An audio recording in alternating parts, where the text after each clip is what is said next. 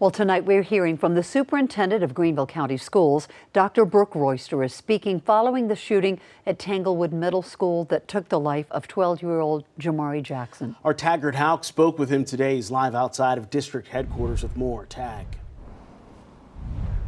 Yeah, good evening to you both. Tomorrow marks two weeks to the day that this all happened. The superintendent today talking about the response, saying that already it has been under hours of review, and he says there's a very good chance that this could have helped others from being injured.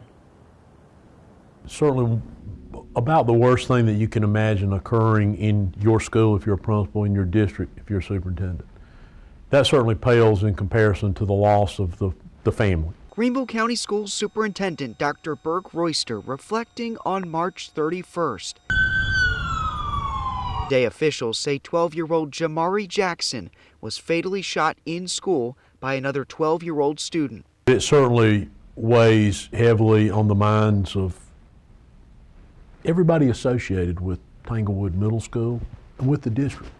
Amid the tragedy, Royster said the response went as planned the single most important thing was the flawless response of the faculty and staff in that school getting students into lockdown situation, removing them from the immediacy of danger created by the shooter.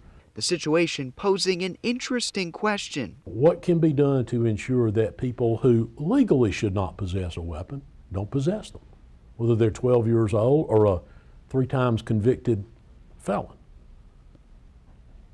I think there are a lot of bigger questions out there that require answers that extend well beyond the boundaries of the classroom, the school, and the school district.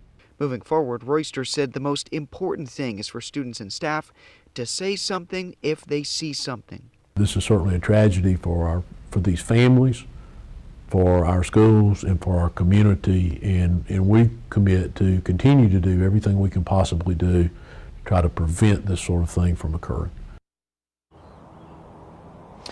And a motive for this shooting still is not clear. That is under investigation. A hearing was scheduled for that 12 year old suspected shooter for tomorrow. The attorneys have waived that hearing. We are working to learn more about what will happen in this process next. For now, in Greenville, Taggart Houck, WYFF News 4.